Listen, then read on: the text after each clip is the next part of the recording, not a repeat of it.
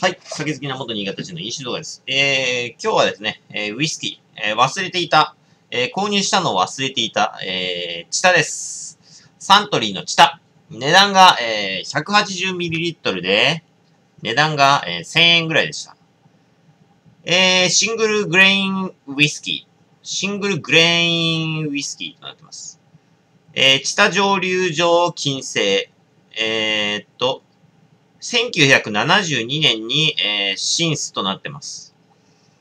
えー、っと、原材料がグレーンとモルト。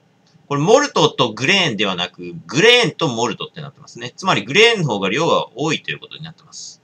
アルコール度数が43%。えー、軽やかな味わいと、ほのかに甘い香りが特徴です。滑らかで心地よい余韻をお楽しみください。えテイスティングノートが、え色が明るい、え黄金色、え香りがピュアでストレート、甘い、樽香。で、味わいが、えー、口当たりよく甘くスムース。余韻が、えー、綺麗、ほのかな甘さ。となっております。容量が 180ml。うん。シングルグレインウイスキーって初めて飲みますね。シングルモルトではなくグレインウイスキー。シングルグレインウイスキー。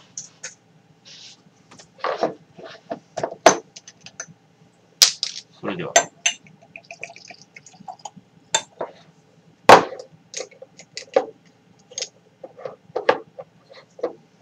完璧あんなんか、香りが、セメダインっぽい、あの、あれっすね。あの、バーボンウイスキーによくありがちなセメダインっぽい香りが若干します。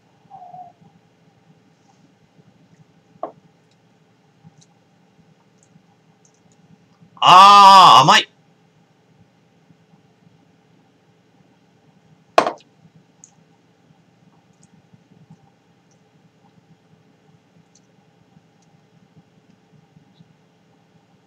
あの、つくような甘さ。と香り。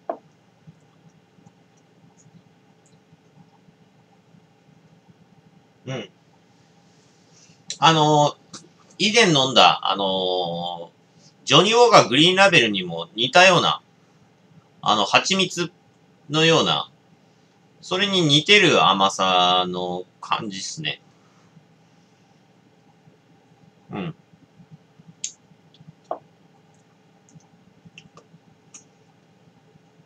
うん。蜂蜜粉がすげえしますね。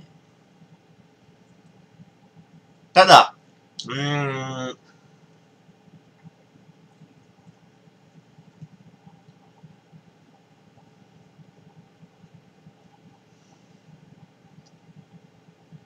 結構どぎつい。口当たりも結構きつい感じはあります。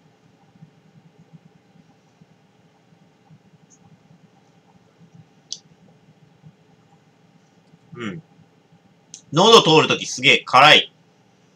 辛いっすね。カーッとなります。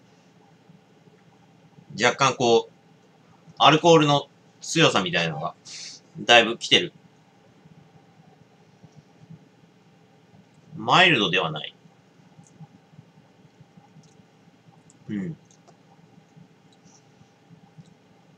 木の、木の香りと蜂蜜の香りが混ざったような香りでしょうか。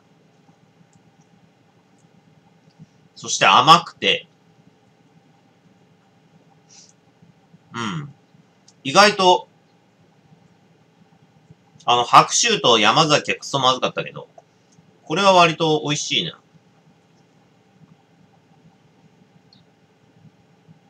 あの二つよは買う価値あると思いますね。うん。結構独特な、あのー、香りうん。えーと、サントリーチタ。サントリー。値段がちなみには、えー、ボトルで3300円ぐらい。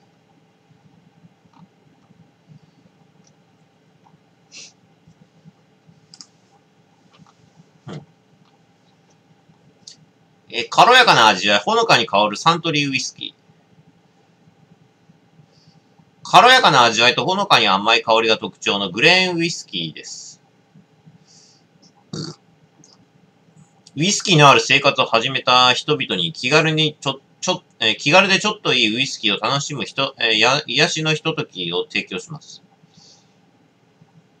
滑らかで心地よい余韻は、素材の旨味を生かした日本食との相性が抜群。えっ、ー、と、希望商売価格が3800円。まだあれだよ。まだあの、なんで山崎とかに比べるとはるかに安いんじゃないか。うん。山崎とかあれ6000円ぐらいするんじゃない ?8000 円ぐらいするのかあれ山崎。あれ、山崎あれ、8000円ぐらいしなかった。ちなみに Amazon だと、こちらが 700ml で3380円。となってます。で、えー、ちなみに白州が、ちょっと書いてないな。あ、白州が7300円。で、山崎が Amazon だと9200円。いや、8200円となってますね。あ、高っか。こう考えるとあれだな。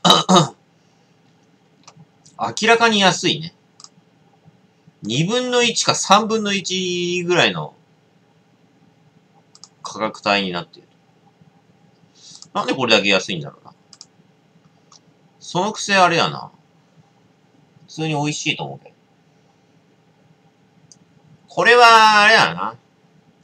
えっ、ー、と、11年ぶりにサントリーから誕生したウイスキーの新ブランド、チタ。えー、軽やかな風をイメージしたグレーン原種で作られたこだわりの一品。チタはロックやソーダ割りがおすすめです。これロックだな。こういう、あの、ピキーッとくる、この、あの味は、これはロックで飲むと美味しいんじゃないですかね。あ、これは美味しいわ。うん。なんたって、ああの、値段が3300円と、あの、白州とかのぼったくりのクソみたいな、バカクソまずいウイスキーに比べたら明らかにあれだね。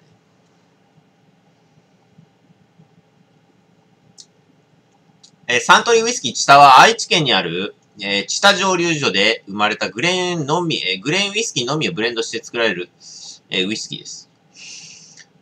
えー、軽やかな風をイメージして作られたグレーン原種、えー、チタ蒸留所では連続式蒸留機によってグレーン、えー、間違えた、クリーン、ミディアム、ヘビーの3タイプの、えー、世界にも類を見ない、えー、グレーン原種の作り分けを行い、貯蔵方法においても、えー、スパニッシュオークダルやワインダルなど多彩な、えー、貯蔵種の使い分けによる原種の作り分けを行っています。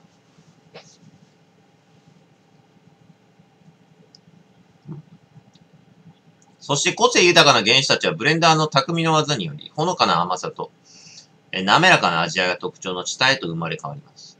おすすめは、えー、ハイボールとなっております。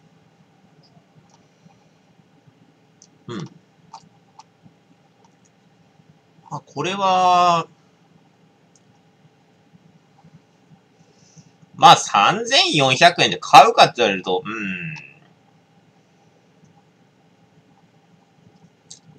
ん3400円でしょ。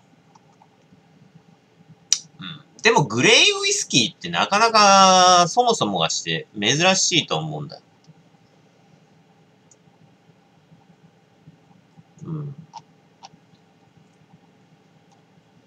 この甘いグレーンウイスキーってそもそもあんまりないよね。グレーンウイスキーってそもそもがして、そんなにまともにない気がするけど。すげえ高かったですね。日課の、日課カフェグレーンとかクソ高いね、これ。うん。日課のカフェグレーンとかに、あれすると、恐ろしく高いよね。日課のカフェグレーンとかめっちゃ高いね。これ6000円しますね。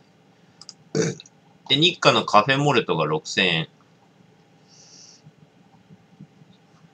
そう考えればまあ、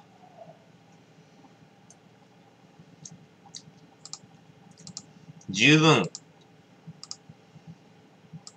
うん、買いではあるではないでしょう。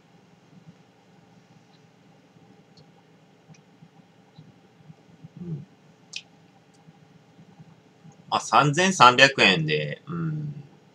でも、こういう味わいってなかなか、まあ、この蜂蜜のような味わいってなかなかまあ、俺も、だから、あのね、あの、ジョニーウォーカーグリーンラベルで、あの、蜂蜜の味がすげえなって思ったけど、これもかなり蜂蜜の味っていうか香りしてますよね。そう考えると、うん。蜂蜜。うん、まあ、グリーンラベルに比べると蜂蜜感はちょっと弱いですけど、でも、まあ、しっかり蜂蜜の香りもするし、ね、甘いし、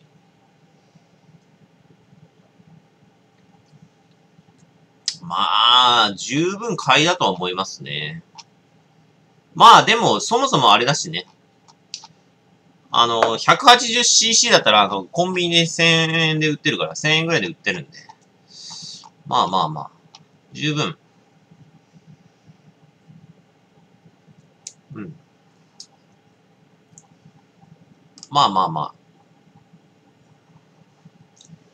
それでグレーンウイスキーって数少ないその、まあ、ウイスキーの、その、製法？グレーンを、のみを使ってるっていう、製法から考えれば十分、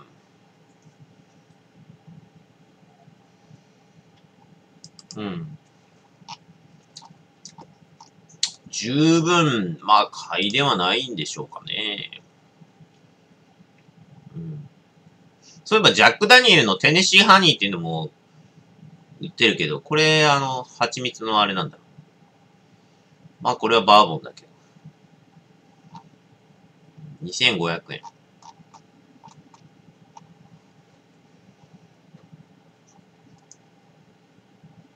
うん。確かに、あれだよね。あの、バーボン、バーボン、うん。バーボンっぽいよね、これはね。うん、この蜂蜜系ってなんか、あれだよね、バーボンに確かに、バーボンかなって思う感じではありますよね。まあ、そもそもバーボンって、あれだよね。あのーグレーンとか主体じゃなかったっけ？まあ、ようわからへん。うん。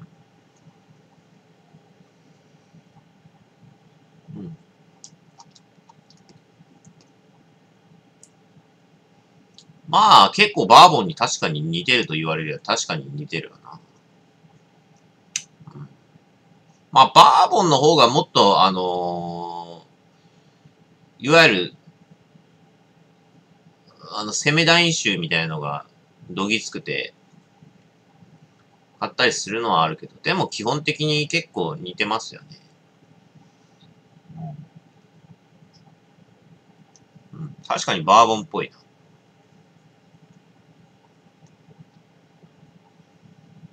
これ、あれ、あれで飲んでみるか。ハイボールで飲んでみるか。ハイボールでちょっと飲んでみるか。ハイボール。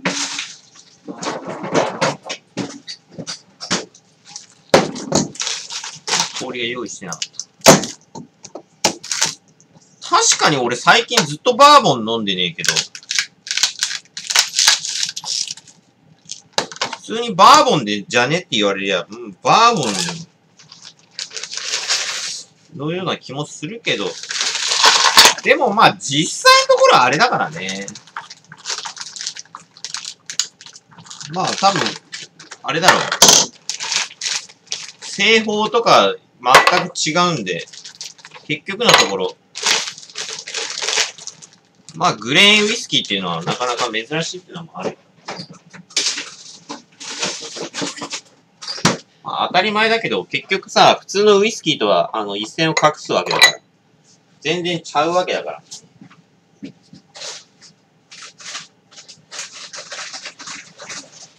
グレーンウイスキーって結局バーボンとまあぶっちゃけて何が違うのかっていう。バーボンは基本的にコーンとか使ってんだよね。コーンとかね。だから製法というよりそもそも原料がまあ違うんだろうけど。結構コーンが多かったりすね。バーボンってね。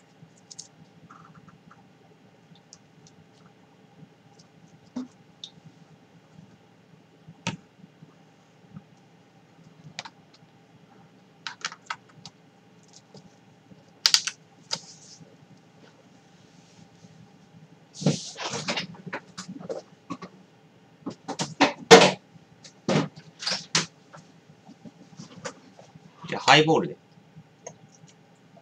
ちょっと飲んでみましょうか。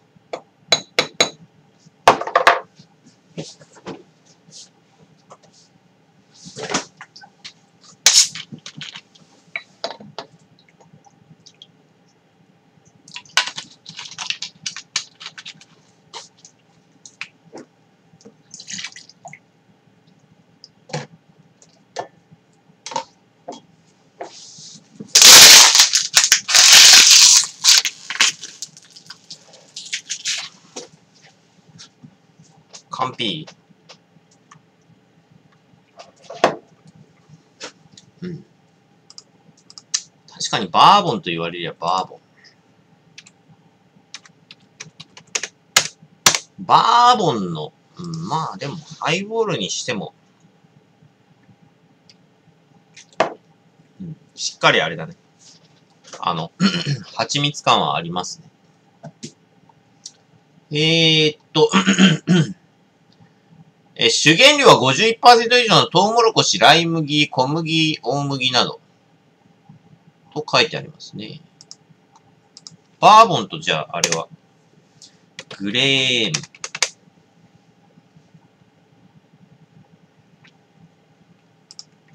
バーボンとグレーンウイスキーの違い。グレーンウイスキーというのはトウモロコシ、ライ麦、小麦などを主原料にするもの。うん。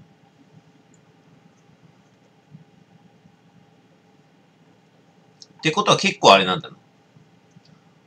トウモロコシ、グレーンウイスキーはトウモロコシ、ライ麦、小麦で、バーボンウイスキーはトウモロコシを50%以上。うん。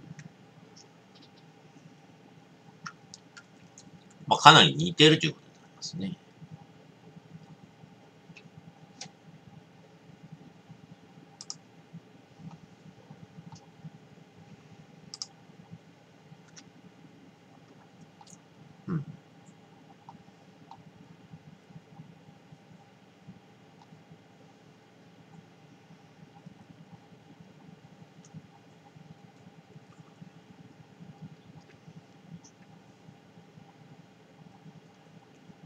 そもそもグレーンっていうのは何だっていう話やねんけど。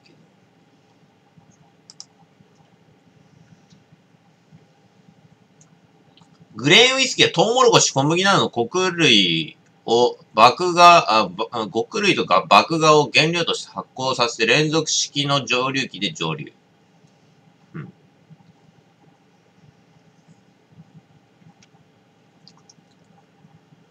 ちなみに、モルトウイスキーは大麦の麦芽を発酵させて、えー、単式蒸留で2回蒸留して作る。つまり、単式蒸留か連続式蒸留かの違いでだいぶ違うってことや。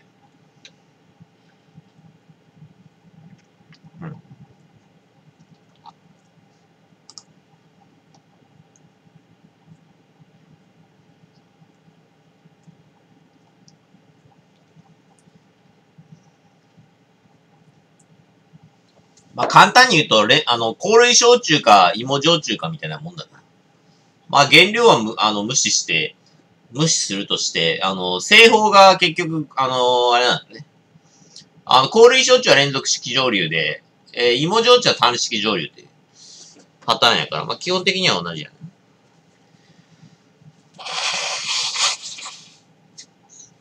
えー、っと、で、ちなみに、バーボンウイスキーの製造方法。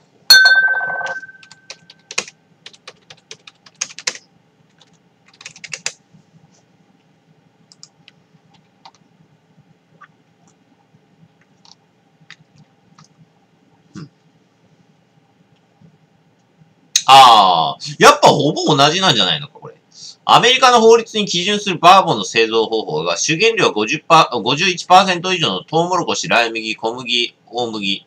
えー、これらを麦芽で透過して、さらに酵母を加えてアルコールを発酵させる。その後に、連続式蒸留機でアルコール度数80%以下になるように、80%以下になるように蒸留を行って、バーボンの原種となる蒸留酒を製造する。うん。その後、オークダルの、えー、煮詰めて熟成。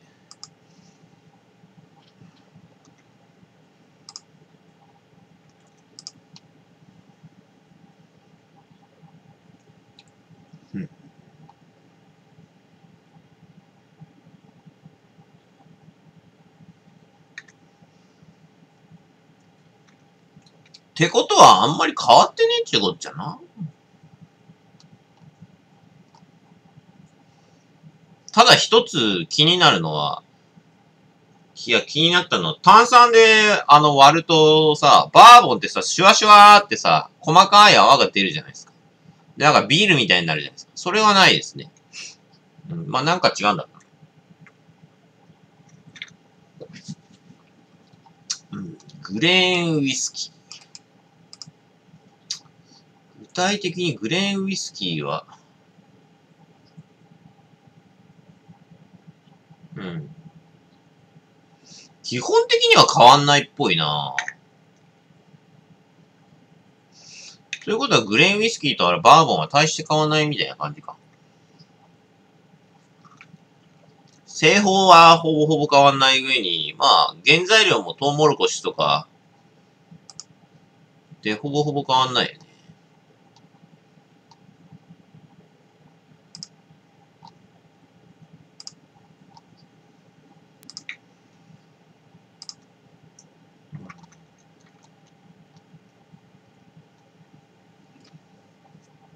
グレーンウイスキー。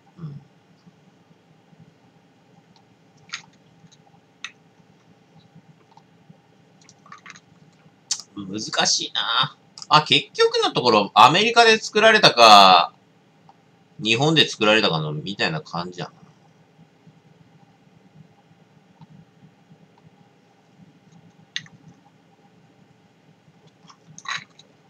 うん、確かに匂いもなんか、あの、あの、セメダイン、セメダイン州若干したしな。うん。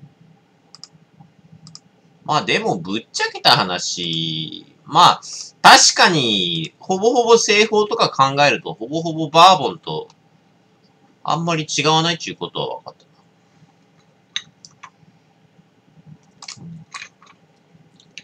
あ、でも、まあ日本で作られてなおかつグレーンウイスキーっていう、あのシングルグレーンウイスキーっていうのはなかなかまあ高い。普通に、あの、カフェグレーン、日課のカフェグレーンとかは普通に6000円とかするんで。そう考えればまあ安い。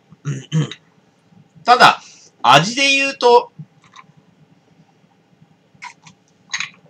うん、まあ、確かにそう考えるとバーボンに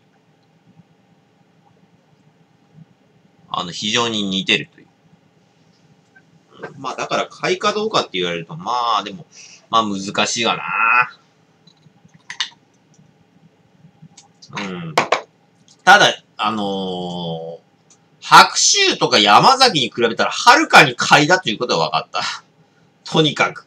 それだけもう十分ぐらいの、あのー、あれっすね。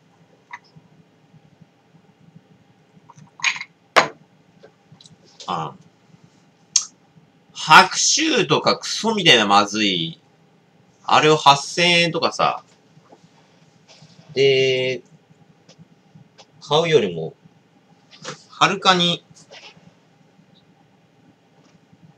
まあ、マシということは分かりました。まあ、あと、グレーンウイスキーっていうのに興味がある人。まあ、グレーンウイスキーのバーボンのね、飲み比べみたいなのもね、しても面白いんじゃないですかね。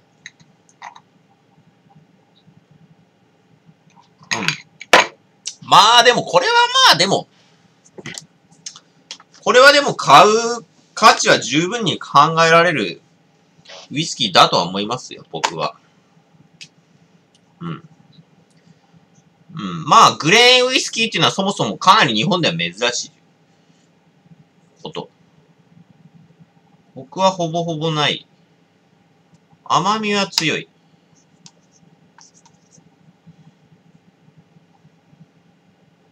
香りも強い。